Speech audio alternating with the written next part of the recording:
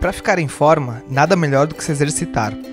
O programa Mais Esportes oferece aulas gratuitas em 23 polos espalhados pela cidade. Além de ginástica, são mais 19 modalidades. Faça sua inscrição no ginásio de esportes, de segunda a sexta, das 8 às 5.